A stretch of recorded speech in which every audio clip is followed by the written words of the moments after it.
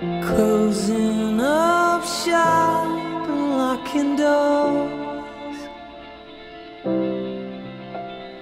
Turning up lost in someone